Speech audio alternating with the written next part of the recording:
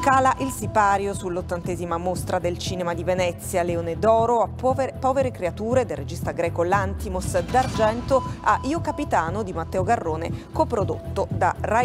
A Venezia si è chiusa l'ottantesima edizione della mostra del cinema, gran finale con l'assegnazione del Leone d'Oro a povere creature del regista greco Lantimos. Allora Lido per noi c'è l'inviata Virginia Volpe. Virginia, a te.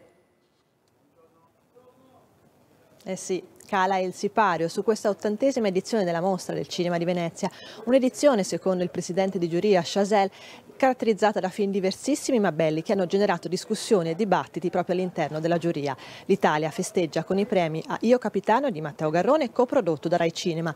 La soddisfazione anche del ministro della cultura Gennaro San Giuliano, ma ripercorriamo i momenti di ieri sera della premiazione nel servizio che abbiamo realizzato e poi la linea può tornare allo studio. Poor Things by Yorgos Era il favorito della vigilia e si è confermato. Povere creature del regista greco Lantimos è il leone d'oro di questa ottantesima edizione della mostra del cinema.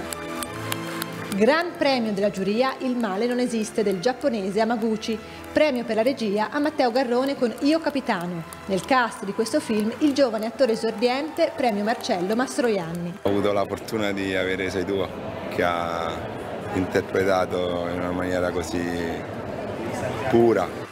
Coppa Volpi, migliore attrice, a Kaylee Spaney, protagonista di Priscilla di Sofia Coppola. Miglior attore, Peter Sarsgaard, dal film Memory di Michel Franco. E c'è tanta Italia anche nella sezione Orizzonti. Miglior attrice, Margarita Rosa De Francisco, protagonista di El Paraíso di Enrico Maria Artale. Premio speciale ad Alan Parroni per il film Una sterminata domenica.